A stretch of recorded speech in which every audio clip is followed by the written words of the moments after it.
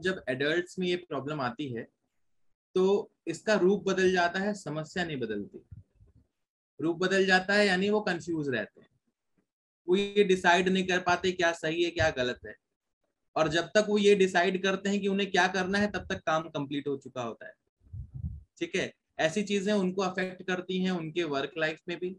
जब वो ऑफ़िस में होते हैं बॉस कोई काम देता है तो वो सुन नहीं पाते। और जब काम कंप्लीट करके ले जाते हैं तो बॉस कहता है, मैंने ये काम दिया नहीं था।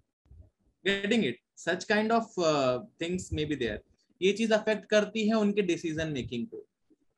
क्या सही है, क्या अर्जेंट है, क्या इंपॉर्टेंट है? जैसे एक डिफरेंस होता है ना, मुझे अभी यदि मुझे ब्लड की ज़रूरत है, वो अर्जेंट है।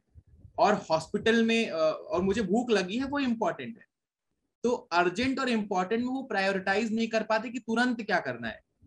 तो जब उनको कोई कुछ काम देता है तो they feel extremely pressurise but they can't do anything for it और प्रॉब्लम जब डिसीज़न मेकिंग की आती है तो फिर चॉइस मेकिंग की भी आ जाती है। वो राइट right चॉइस नहीं निकाल पाते। ऐसे लोगों को मराइटल लाइफ में आगे चल के इश्यूज़ आती थी। अर्ली एज में डायग्नोज ना हो तो मराइटल लाइफ में इश्यूज़ आएगा, उनको दुनिया की सारी समस्या जो है, अपने पार्टनर में या दुनिया के बाकी लोगों में दिखती है। उनको ये लगता है कि मेरी प्रॉब्लम्स जो मैं बिहेव कर रहा हूँ मैं नॉर्मल बिहेव कर रहा हूँ बिकॉज़ वो उनके पर्सनैलिटी का लंबे समय से एक पार्ट हो चुका है। लेकिन जब वो किसी और के साथ बिहेव करते हैं तो उनके अंदर की एबनॉर्मेलिटी सामने वाले को डायग्नोज हो जाती है। और सामने वाला फिर डिसाइड करता है, मुझे इससे कितना बॉन्ड डेवलप करना है, कितना डिस्टेंस रखना है। क्योंकि ऐसे लोग थोड़े से ब्लंट स्पीकर होते हैं तो लोग इनसे बात करने में बचते हैं।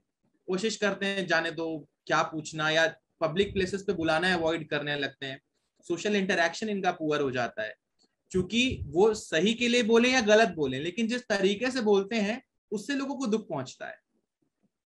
तो ये वाली चीज़ बड़ी अफेक्ट करती है। और इसकी वजह से उनको फ्रेंडशिप में इश्यूज़ आते हैं। बचपन में मारपीट करने की वजह से या भागा दौड़ी करने की वजह से टीचर्स के प्यारे नहीं हो पाते फ्रेंड्स नहीं बना पाते और बड़े होने पर उन फ्रेंड्स के साथ फ्रेंडशिप कंटिन्यू नहीं कर पाते। तो उससे उनका सेल्फ स्टीम बड़ा अफेक्ट होता है।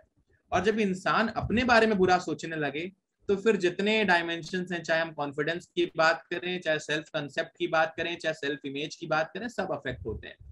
तो ये सारी चीज़ें जो लो सेल्फ स्टीम विकसित करती हैं, वो उसको, उसके बारे में निगेटिव थॉट्स निगेटिव स्टेटमेंट्स मैं अच्छा नहीं कर सकता, मैं बेकार हूँ, मैं एक लंबे समय से ऐसे ही आदमी हूँ, इस टाइप के थॉट से वो धीरे धीरे धीरे धीरे फिक्स होने लगते हैं और फिर सोशली विड्रॉल करने लगते हैं।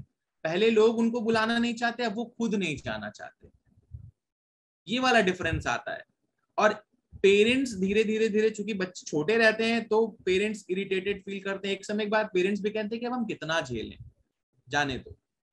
तो पेरेंट्स की ओर से भी सपोर्ट डाउन होने लगता है। तो सबसे बड़ी प्रॉब्लम जो आती है, वो आती है लोनलीनेस वाली।